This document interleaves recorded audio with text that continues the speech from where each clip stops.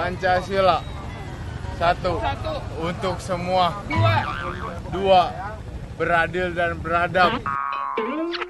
Pancasila satu ketuhanan yang maha esa dua kemanusiaan yang adil dan beradab tiga persatuan Indonesia empat kerajaan yang pimpin oleh hikmat kebijaksanaan dalam permusyawaratan perwakilan lima keadilan sosial bagi seluruh warga Indonesia.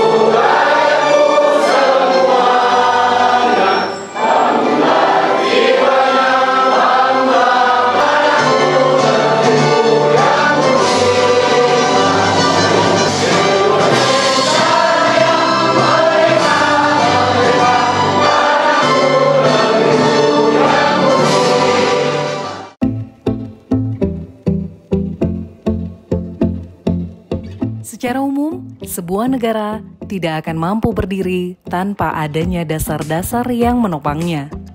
Dasar ini merupakan sebuah pedoman yang dijadikan sebagai pegangan untuk membangun bangsa.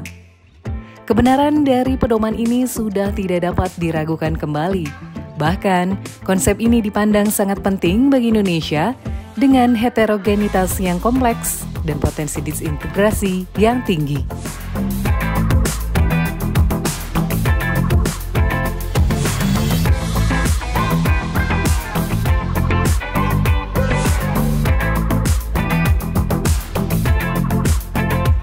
Menurut data Badan Pusat Statistik atau BPS, terdapat 1.128 suku bangsa dan bahasa, ragam agama, dan budaya di sekitar 16.056 pulau. Sehingga perlu konsepsi, kemauan, dan kemampuan yang kuat dan memadai untuk menopang kebesaran, keluasan, dan kemajemukan keindonesiaan. Konsep tersebut disebut sebagai empat pilar kehidupan berbangsa dan bernegara atau empat pilar kebangsaan. Menanggapi hal tersebut, seluruh anggota DPRD Jawa Barat turun ke daerah pemilihan masing-masing melakukan sosialisasi nilai-nilai empat pilar kebangsaan, salah satunya Dr. Randa Haja Tia Fitriani yang merupakan anggota Komisi 2 DPRD Provinsi Jawa Barat Dapil Kabupaten Bandung dengan mengangkat tema meningkatkan pemahaman sosialisasi parlemen dalam sketsa kebangsaan kepada masyarakat. Pada 20 September 2022 bertempat di Aula Kantor Desa Sukamenak, Kecamatan Margahayu, Kabupaten Bandung, yang turut dihadiri oleh kader-kader dari Desa Sukamenak dan sekitarnya serta kepala desa masing-masing wilayah Kabupaten Bandung pun hadir mulai dari Mekar Rahayu, Sukamukti, Padasuka, Banyusari, Sukamenak, serta Pangauban. Jawa Barat dari fraksi Nasdem beserta Bapak juga yang saya hormati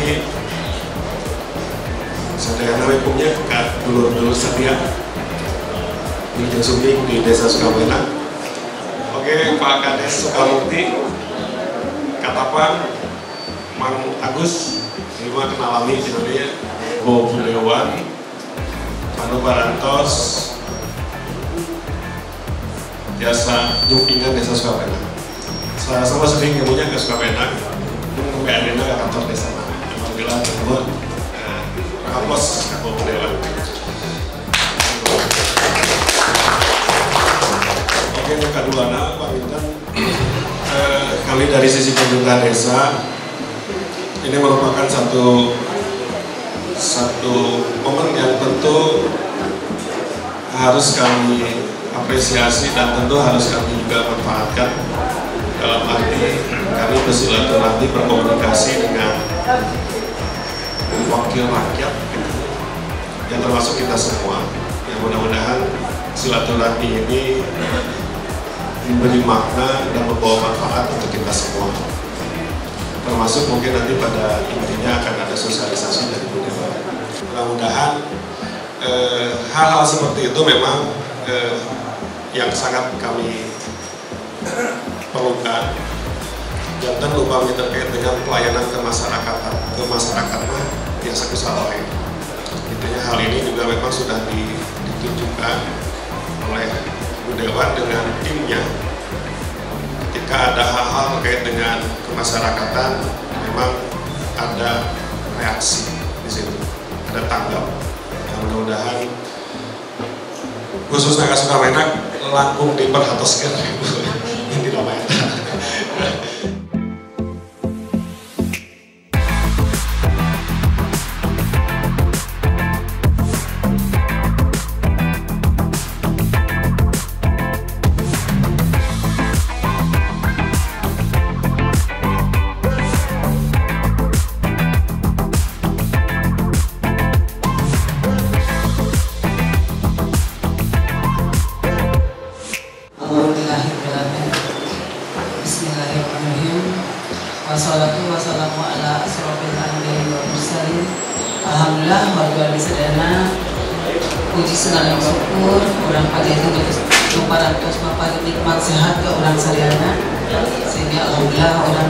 Bisa kembal di dalam keadaan sehat Salawat senang salam kegiatan infah curahkan kepada junjungan orang Ya, ya, Pak Kades pada perintah umur Jampung bisa Jadi aku kena tangga terjadi lainnya Alhamdulillah Ini adalah eh, Pak Kades yang berbesar Dan mohon kembali eh, Raka Abdi nganturkan di sini Pak Kades langsung membantu dengan mobil ambulannya Untuk eh, mengiringi jenazah ke tempat peristirahatan terakhir Pak Kades sampai mana Dan insya Allah orang dorong doa orang dorong objek ke, eh, untuk warga di sini bantu Pak Kadesnya untuk bisa sama-sama bangkit.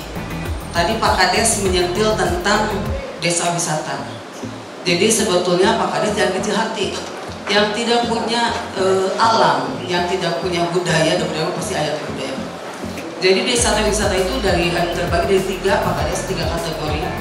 Pertama kita bisa mengangkat dari eh, alam, kelebihan dari alam kita, kemudian di alamnya jalannya, itu mungkin jalan jadi ke desa wisatanya. Nah orang luka tinggal gitu maksud pakai desa gitu. Luka dua eh, dari sumber eh, budaya Kades yang ketiga yang jelas desa wisata buatan.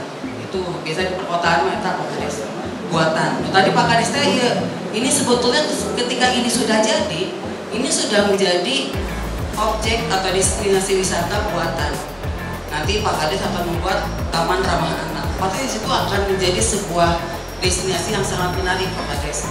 Tadi ada di situ ada lapangan mini sokrananya. Nah ini sama dengan konsep yang tadi desa Pokoknya Pak Kades. Dia itu tidak memiliki lahan yang eh, dalam artian alam yang hijau tapi gersang. Yang punya mereka gersang. Nah ini ketika tadi Pak Kades ayah sudut UMKM-nya, di situlah akan menarik Pak Kades. Ini adalah termasuk wisata buatan yang juga mempunyai nilai wisata luar biasa.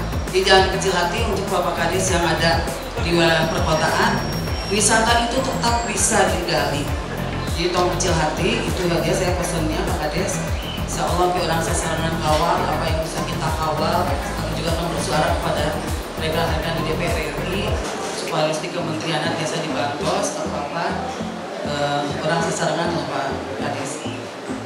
Bagi-bagi sadana kalau bicara tentang uh, empat pilar kebangsaan pastinya kita harus apal sadana pasti harus apal tapi asal tong apal cangkem.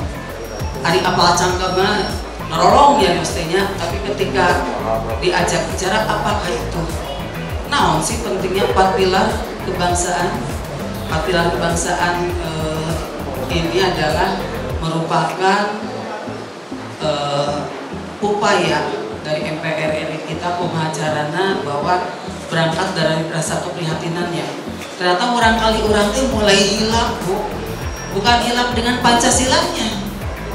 Tapi mereka lupa dengan arti makna dari Pancasila itu sendiri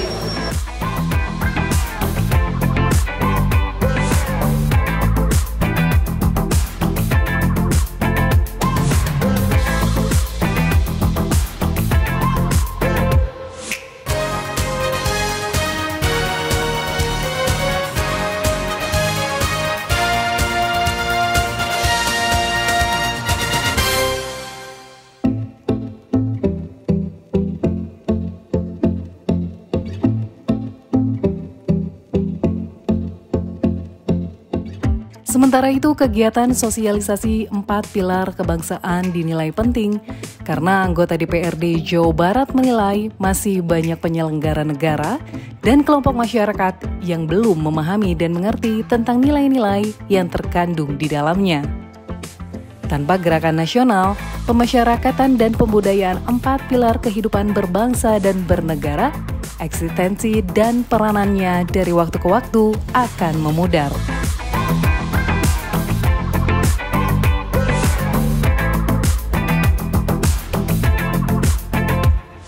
Adapun tujuan pemilihan nilai-nilai empat pilar yang terdiri dari Pancasila, Undang-Undang Dasar 1945, NKRI, dan Bhinneka Tunggal Ika adalah untuk mengingatkan kembali kepada seluruh komponen bangsa agar pelaksanaan dan penyelenggaraan kehidupan berbangsa dan bernegara terus dijalankan. Dengan tetap mengacu kepada tujuan negara yang dicita-citakan, serta bersatu padu mengisi pembangunan agar bangsa Indonesia lebih maju dan sejahtera. Alhamdulillah saya Tia Fitriani hari ini hadir di Desa Sukamenak eh, dalam rangka sosialisasi empat pilar kebangsaan dan di sini pesertanya luar biasa saya bangga sekali karena ternyata pemahaman tentang eh, empat pilar kebangsaan ini sangat dikuasai Pancasila pun semuanya hafal dan pada hari ini saya mengajak pada warga masyarakat di sini untuk menjadikan uh, sil, uh, kelima sila ini menjadi pedoman dalam berkehidupan dan berbangsa dan bertanah air ini bahwa bagaimana setiap langkah kita akan berlandaskan pada Pancasila. Dan hal tersebut uh, sudah disambut dengan hangat oleh masyarakat di sini. Hadir bersama saya juga Kepala Desa uh, Sukamenak beserta rekan-rekan Kepala Desa lainnya yang juga tertarik dengan uh, sosialisasi empat pilar ini. Ini juga merupakan sebuah semangat yang luar biasa dan saya khususnya Tia Fitriani di setiap kesempatan akan selalu mendengungkan ini tidak hanya dalam uh, momen seperti ini tapi di saat-saat saya berada di mana pun saya akan berusaha selalu menggugah masyarakat untuk menjadikan Pancasila ini sebagai pandangan hidup sebagai ideologi bangsa yang terus dijaga keutuhannya. Itu yang diterapkan dan juga tadi bahwa e, dari keempat pilar tersebut empat-empatnya sangat luar biasa yang juga menjaga keutuhan NKRI ini dan ini yang akan kita gaungkan terus bahwa ketika negeri kita semakin maju, ketika bangsa kita semakin maju, yang jelas arus globalisasi di luar ini sangat betul-betul bisa uh, mencederai anak bangsa apabila ini tidak dikukuhkan kembali. Jadi semangatnya seperti itu dan kita akan terus dan saya akan terus bergerak di setiap event, setiap momen apa pun saya akan selalu menggelorakan ini.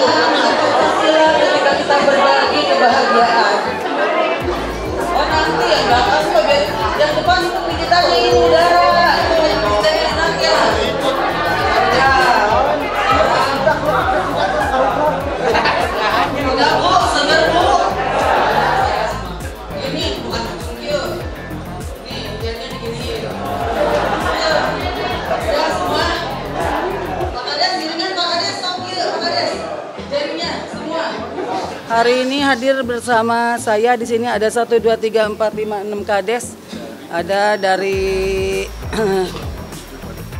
ada 7 kades, ada Mekar Rahayu, ada dari Sukamukti, ada pada Suka, ada dari Banyusari, Pas Kades Suka Menak Sendi dan juga Pak Kades Pangauban di sini hadir uh, dan mengikuti seluruh rangkaian acara.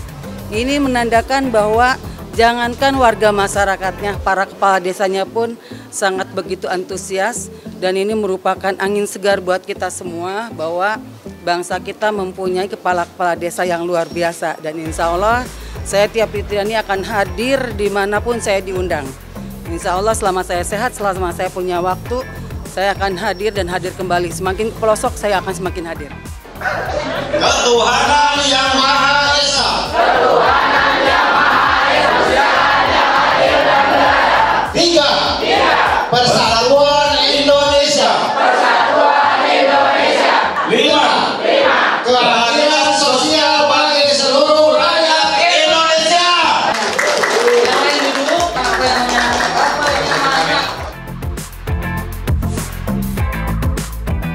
mungkin sebagaimana tadi disampaikan oleh Budaya bahwa ini menjadi sebuah pilar atau fondasi bagi kita semua bagaimana kita berusaha mencoba untuk lebih mengenalkan yang pertama itu. Kami pun punya program di Desa Sukamenak yaitu bagaimana menanamkan sebuah karakter bagi anak dan itu yang sedang kami lakukan juga Bu Dewa. Jadi dari sisi pembekalan di pendidikan formal dan pendidikan non formal. Nah, hal-hal seperti ini juga mungkin nanti akan lebih kita sosialisasikan. Kita punya pilar-pilar lembaga di masyarakat, itu nanti akan menjadi sebuah motor untuk bagaimana kita mensosialisasikan agar supaya kita membangun karakter dimulai dari anak dulu. Nah, mungkin tadi Bu Dewan sudah sampaikan juga bahwa ini menjadi hal yang penting. Bagaimana tadi kita dicontohkan, anak kecil sudah bisa mengenal Pancasila dibanding orang-orang dewasa. Yang mudah-mudahan kecintaan warga masyarakat Desa Somek terhadap NKRI bisa kita tumbuhkan dimulai dari anak-anak kita, dimulai dari keluarga. Oh tadi, tadi saya sampaikan, kami berusaha mencoba membangun karakter anak, tapi kita mulai dari anak. Seperti itu sosialisasinya seperti itu. Nah nanti ke depan karena ini menjadi semangat kita bu menjadi semangat kita ya, nanti juga kami akan akan mulai mencoba pilar-pilar kelembagaan desa di wilayah masing-masing baik mulai ketua RT, ketua RW maupun ada penggerak PKK di situ akan kita dorong bagaimana itu lebih mengenalkan empat pilar ini kepada masyarakat di Desa Sukamenan. Semoga dengan adanya sosialisasi ini, setiap warga negara Indonesia akan terus memiliki keyakinan bahwa empat pilar tersebut adalah prinsip moral keindonesiaan yang memandu tercapainya kehidupan bangsa yang merdeka, bersatu, berdaulat, adil, dan makmur. Dulur!